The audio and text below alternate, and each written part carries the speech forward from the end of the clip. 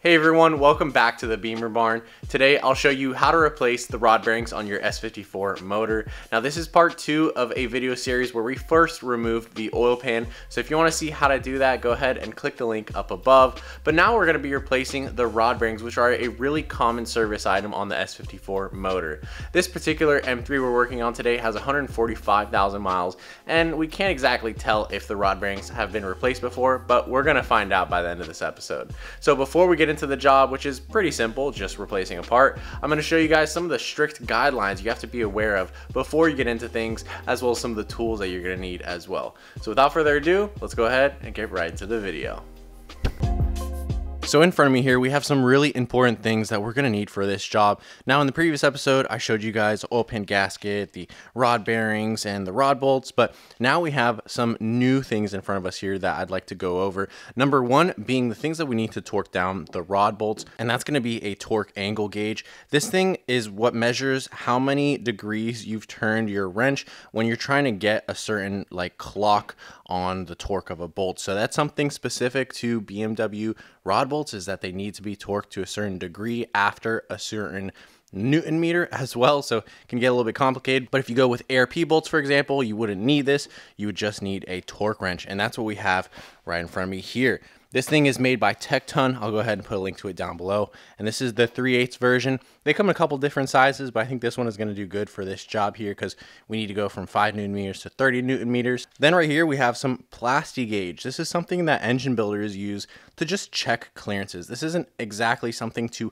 measure by or go by 100%, but it will give you a ballpark estimate to know that your rod bearings are the right size. Now, getting to the rod bearings, I have some documents here from BMW on this service with some really important facts that we need to go over. Now, number one being that there are two rod bolts for this job, depending on the year that your engine was produced. If it was made pre-2003, it's going to have the A type of bolt, which has a larger head on it and a larger M11 thread. If your car was made in 2003 forward, it likely has the bolts that are Torx head and they have an M10 thread to them. So they're a little bit smaller, which means the corresponding piston rod is different. So you cannot interchange these bolts and it's important that you know which ones are in your car before you start this job. Now, the good thing is that the early model bolts, they're actually 100% reusable according to BMW service procedures, but the late model bolts 2003 forward, they do need to be replaced when you remove them after, you know, servicing the car. So if you have the 2003 Ford bolts, I'd consider getting ARP bolts because I think they're a little bit cheaper. But anyways, moving on to the rod bearings. The rod bearings themselves go in a specific direction. So there is a top and a bottom, and they're actually color coded. So the blue coating goes into the top of the connected rod and then the red bearing goes into the bottom. So you see here on the bearing on the sides there's just like little sharpie marks or paint marks that indicate if it's a top or bottom. They're also indicated by the part number on the box but something to be aware of so you cannot mix these up when you install them and it's important that you don't because it would result in like catastrophic engine failure. And then the torquing sequence I wanted to mention is different between the two types of bolts.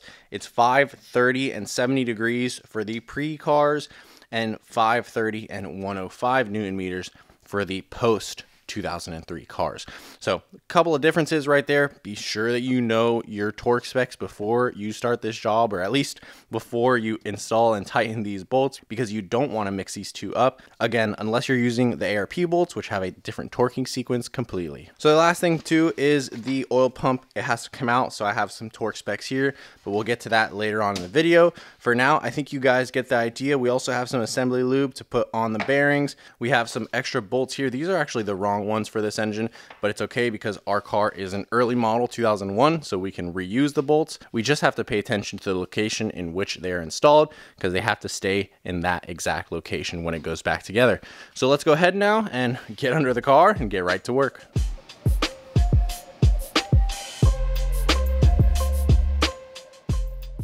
Now during this video, I am going to give you guys some commentary and some helpful tips throughout the process of removing and installing these rod bearings. This beginning part here, it's just removing some of the oil pickup tubes, really simple and basic, but in a second, we're going to figure out a big problem with the oil pump, but I'll let you guys see that in a moment. For now, enjoy.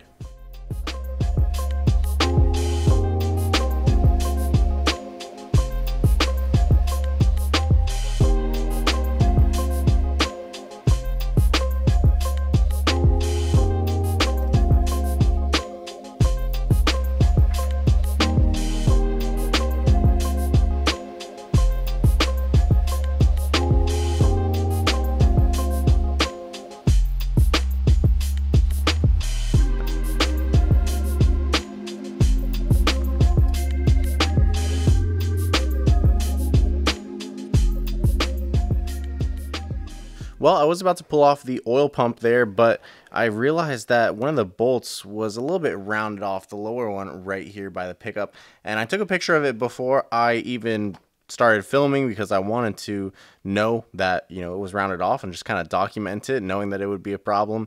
And here I am, you know, with the six millimeter Allen that's supposed to go into those bolts. And that one particularly, I cannot get it to budge free. I think, I'm not sure, but I think I even felt this thing roll inside of the Allen head of that bolt. So pretty sure that thing is stripped and it's not going to come out anytime soon unless, you know, you're going to take a Dremel to it. Uh, but instead of doing that, we're just going to leave the oil pump on. We got the strainer lines off, the pickup lines. Um, and with the position here, because I turned the motor over a second ago, I should be able to access the rod bearing cap pretty easily from this angle right here. Um, so we're going to start by doing the corresponding rod bearing cap, which is going to be cylinder 6, because remember, uh, for each cylinder, there's a corresponding cylinder that matches it, because the cylinders are always synced up in pairs. So the first and the sixth cylinder right now, we have good access to get the rod bearing cap off. We're going to go ahead, remove those bolts, remove the rod bearings, inspect them, and then go over the sequence in order to check the clearance of our new bearings. Now there are two types of rod bolts, so remember to have the right socket for your engine, but like you can see here, I like to get the rod bolts a little bit backed off, then break free the lower part of the connecting rod, and then back the bolts out completely to take the lower half out. Just want to be as careful as possible. Then to get the top bearing out, you're going to push the piston up into the cylinder, and like you can see here, I'm using a pick to get underneath the bearing, and that's what I do to get the bearing out and then carefully remove it from the engine. All right, we've got our first bearings out. This is going to be from cylinder 6, and I left the bottom bearing inside the cap here, and this is the top bearing that goes right into the connecting rod of the piston. And remember, these bolts here, since I have a pre-2003 car, you're going to want to mark them so that you can coordinate them to the cap like you see there and that way you don't mix up the locations of the bolts and just take one bearing set at a time. You don't need to worry about taking two cylinders off at the same time. So we've got our bearings here. And remember this is the top component. You can see these are actually in pretty good condition. And uh, just the top bearing shell is the one that has some signs of wear. You can see that by like the polished area. And this is directly on the surface where it's going to endure the most force from the combustion of the fuel and cylinder. And remember that pushes the connecting rod down with the combustion and the resistance met by the crankshaft is what gives you that wear. So the bottom end of the bearing doesn't have as much wear but like I said, these do look like they're in really good condition for 145,000 miles. So maybe they were replaced by the dealer at some point with some upgraded rod bearings, or should I say the updated ones from the dealer. But you can see that a brand new one looks like a matte surface. So that's how you're able to tell just how worn these are is when they get polished. Um, on the outside edges though, there is some of that wear through the coating of the bearing, but I think that's not to be worried about because that's just from the bearing wearing into, I guess, its natural position uh, once it's installed. But anyways, what we're going to do now is we're going to remove the bearing from the shell here, install our new bearings, make sure we don't get the order mixed up, and then we're going to put a little bit of that Plastigauge, like a little string, on the bottom cap here, and then we're going to tighten it using the OEM sequence to the crankshaft, and that is going to give us a Plastigauge to reference to see that these are the correct size bearings and make sure the clearance is good with the crankshaft. So let's go ahead and do that now.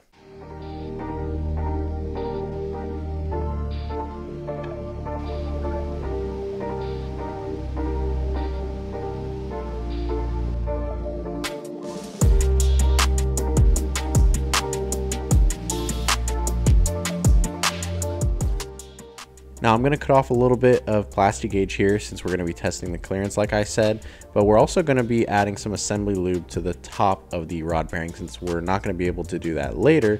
And wouldn't you know, as I was trying to show you guys the assembly procedure, the steering shaft dropped into the way of the camera. Damn it, that steering shaft got in the way of me installing the bearing cap. trying to show you guys, you can see a little bit of a mark there where the Plastigauge was before, but what we're gonna do is actually grab it right here and we're gonna go to the crank where it actually stuck and we're gonna measure and see what our clearance looks like. So here we can see on the journal of the crankshaft, it's a lot more clear that Plastigauge and just how much it's spread out. So the factory specs give us a range that we want to get between 0.03 and 0.07 and using the Plastigauge meter, which again, this is just for estimating purposes, we can see it lands a little bit skinnier than the 0.03 mark. Well, according to our fancy Plastigauge, I'd say that we have a good clearance on the new bearings. So I'm going to go ahead and continue with the installation. And this time, I promise you, I'm going to show you guys the torquing sequence for these bearings because it can be a little complicated. But trust me, I'll walk you guys through it step by step. So step number one that we definitely need to do is going to be putting the assembly lube on the bearing because for the first couple seconds of startup, that bearing is not going to have any oil pressure. Now there is a little bit of Plastigauge left on the crank journal, so we're going to go ahead and clean that up first and then install the lower portion of our connecting rod shell. Then the procedure tells us to kind of snug up the bolts. You want to get to 5 newton meters first. And then as you can see here, we're going to do 30 newton meters on the torque wrench. Now, there are two different ways to use the angle gauge, and the first one here I'm going to show you is if you just use a surface, you can turn the angle gauge, turn your wrench, and it's going to show you how many angle or how many degrees you've gone.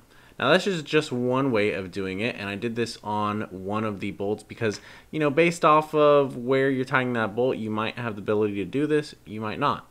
So I held the needle there up against the bell housing of the transmission, and then I was able to determine what 70 degrees was. Now the other way, which I'm showing you here, is to set 70 degrees on your dial and keep things exactly relative so that when you go and turn the gauge back in the direction that you're tightening the bolt, it'll hit the surface that you calibrated it to when you get to the certain angle that you set it at. So here that's what I'm doing on the number one. I'm just setting the needle up against the bell housing, but then keeping the wrench in the same spot and moving the needle out to 70 degrees so that when I go and tighten this bolt, it'll end up exactly at 70 degrees like I set it. So there you go. We've got our first rod bearings done. You can see I even put them on our nice sheet here, cylinder number six. And now what we need to do is cylinder number one, because like I said, it matches up to six and it's a little bit tight for me. So I'm not going to be able to show you guys how that's done, but we'll go ahead and service all of these, turn the motor over and service two at a time. And then finally, we should be able to fill up this sheet and take a look at how bad the rod bearing wear was on this 145,000 mile motor. Eventually. Well, we finished up with the rod bearings, and now we can finally take a look at all of them side by side and determine what kind of condition they're in. And honestly, I'm a little surprised here because I don't see any wear that looks like it would be down to like the copper on these bearings, but I do see you know, different layers of the bearing material, which tells me that there is some inconsistent wear along the bearings. And so you know, it's hard to say why or exactly how much longer these bearings would have lasted, but like I said, I don't see anything that goes really down to the core. These do look like they could have been replaced before. This is an early model car, like an early model year motor, so maybe the rod bearings were replaced under warranty at some point, and uh, we're just going to be replacing them again so the car can do another 50, 100,000, 200,000 miles with the peace of mind that these are done. We're going to go ahead and move on to installing the last pieces for the oil pump. We didn't get to remove it, but we do have to install the pump gear as well as the two pickup tubes. And then we're going to be installing these new Turner Motorsport engine mounts. These are like a 70 durometer bushing, if I'm correct. So they're definitely stiffer than a rubber, but they're not completely solid. They do have like a polyurethane core to them. We'll install those because it's an opportune time to do it, along with, you know, the oil pan gasket and such, and go ahead and start buttoning up the rest of the motor now. And while we're still on the topic of the rod bearings and I have them here in front of me, one recommendation I want to make to you guys is to let your cars warm up before you drive them because about 80 to 90% of engine wear is done in the first 5 to 10 minutes of engine warm up sequence because of course the metal components of the motor they're not all the same size and they're made to operate at operating temperature. That's why it's called that. So while they're getting up to operating temperature, some items like like the rod bearings, they can endure more damage or, or more wear if you're going to be driving the car in that period. So something to keep in mind to make your rod bearings last as long as possible, or just overall on any BMW motor, I would recommend letting the car warm up before you take it for a drive to avoid issues like this. So like I said, let's go ahead and get back to work and reassemble everything.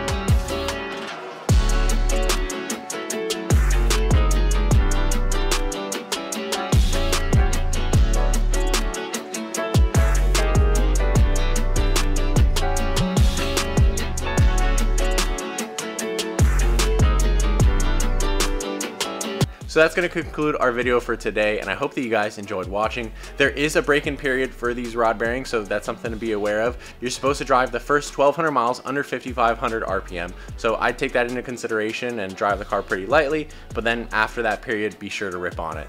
So if you guys enjoyed the video, be sure to leave a like or comment down below. Subscribe if you're new and you haven't yet, and as always, we will see you in the next video.